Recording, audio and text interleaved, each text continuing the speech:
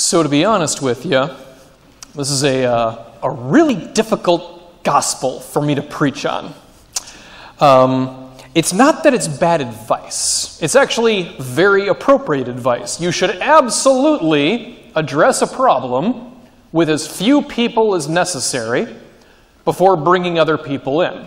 So you should only involve the entire church or the entire community uh, as a last resort. Because once things have gotten to that point, this isn't going to work out well for anybody, in all likelihood. And uh, that not only is just good general advice, but good organizations do exactly that. You know, the Catholic Church takes this reading seriously. The Archbishop, representing the entire church, does not weigh in on local parish matters unless he absolutely has to.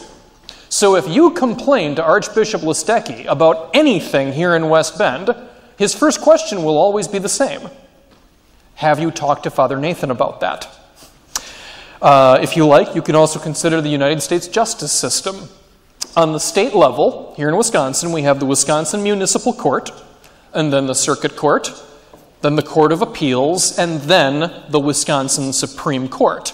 And as far as I understand, you can't really skip a step. You have to work up to the Supreme Court if your case is in fact that strong. So, you know, there is definitely merit in this gospel. It can be practical, no problem there. My frustration with this gospel is I've seen and witnessed conflict mediation fail on all three levels described in the gospel one on one, small group, or two or three witnesses, and the entire community. You know, that first one, obvious. Of course, I have failed to get someone to understand something through one on one conversation. We all have.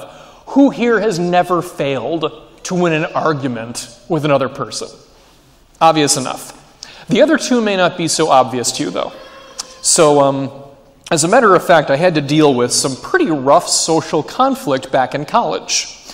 And to give you just a little bit of a, uh, a little bit of a background, I belonged to a special interest house in college. I was, I was part of the Science Fiction and Fantasy Appreciation Club. Shocker, I know. and the club was huge. I mean, it was huge. And it was not a very big college. We were so large that we had our own housing. So 30 or so of the most deserving members were able to live there instead of in general housing, and you were free to apply uh, beginning your sophomore year. So, wouldn't you know it, you know, one day one of the guys was being a little loopy, one of the guys living in the house, you know, as an internal matter, and we did exactly what we just read about in the gospel. Three of us got together, and we went and we confronted him at his room about the problem at hand because one on one conversation was not working. And the guy was livid that we did that. He was furious with us for cornering him and putting him in a position where he was in a weaker place to defend himself. That's a shame, but it's understandable. It's understandable that someone could react that way. And this was a relatively minor thing, albeit the problem wasn't solved that day. We got through it. But that same club also failed with that ultimate level of conflict mediation where you involve the entire community. Um, you know, gamers, geeks, assorted misfits, and social pariahs, you know, my people. It's where I come from, it's where I belong we're, we're not the most emotionally stable people in the world. The drama flows freely among us, it is true, and it will, in all likelihood, remain true for quite some time. One time, a, uh, a creeping social problem just hit a breaking point, and it was a problem that had been growing for months, if not years. A very small minority of the club had grown dissatisfied with the governing body of this club. And they complained in a number of ways, both one on one conversation in small groups, um, but they never got their way because what they wanted was utterly ridiculous. Like, they were asking for the impossible, even if they didn't realize that. No one could actually realistically please them. So, near ish the end of the school year, they made a formal accusation accusing the entire governing body of elitism, corruption, and incompetence. Before I go on with the story, allow me to be perfectly clear. These charges were completely blown out of proportion. This was not a search for justice. This was a college style temper tantrum.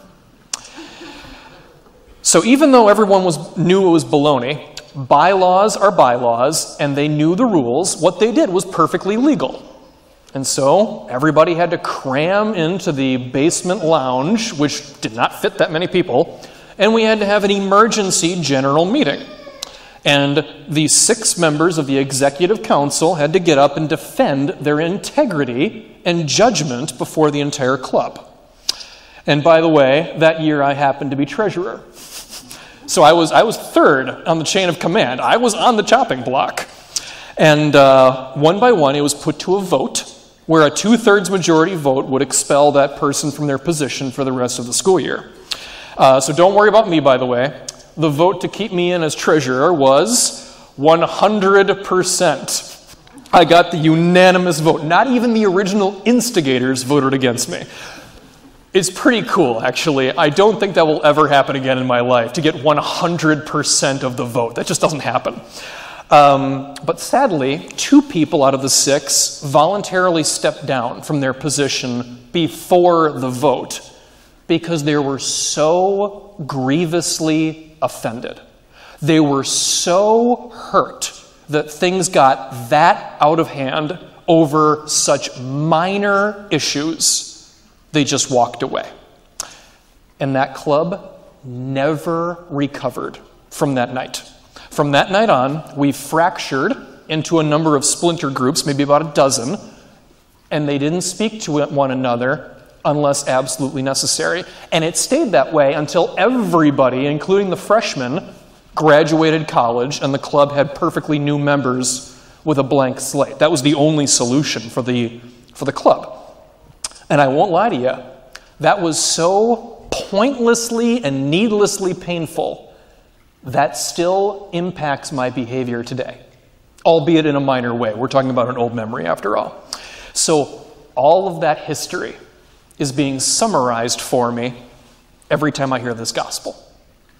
And by the way, the Bible is supposed to do that. The Bible is absolutely supposed to do that. It is supposed to fit your life. You are supposed to have a personal relationship with these instructions and lessons. And we all have that in common. I mean, imagine how. Uh, there aren't that many of us here at Mass today, uh, at least here at 6. Imagine how long we'd be here if everybody got a turn to share a story about how conflict mediation succeeded or failed in your life. The church ain't that full tonight, but we'd be here all night. I'm confident of that.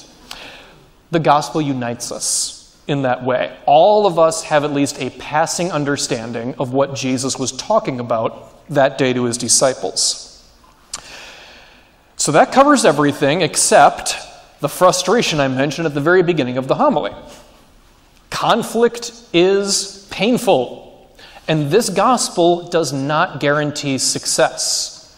Things can break down even if you have good technique. Why is that? Why isn't suitable conflict mediation enough? The answer is that it's because there is a spiritual component at work as well.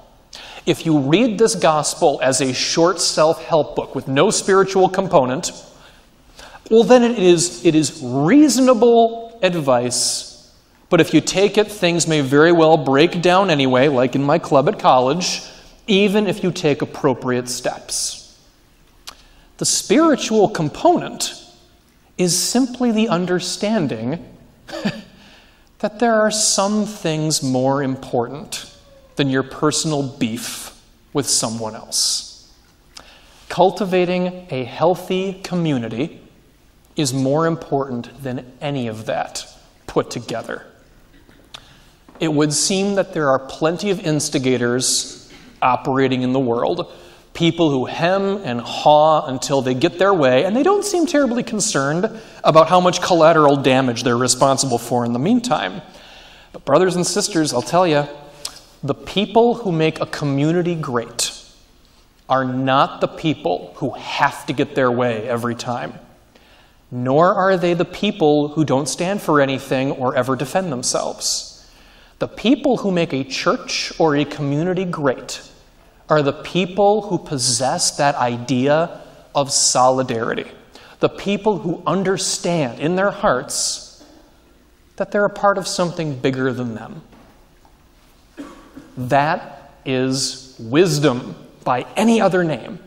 And if we have that, if we have the spiritual component and the practical advice together, then and only then will this gospel be effective, healthy, and truly just.